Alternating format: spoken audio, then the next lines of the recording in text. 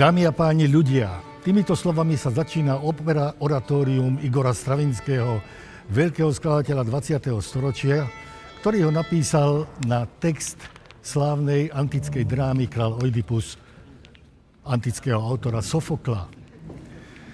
Dielo vzniklo koncom 20. rokov v Paríži, keď e, Igor Stravinský končil svoje ruské obdobie a začal svoje známe neoklasicistické obdobie, kompozičné obdobie a napísal ho na text neživého jazyka, latinčiny, pretože text v latinčine mu práve veľmi dobre vyhovoval.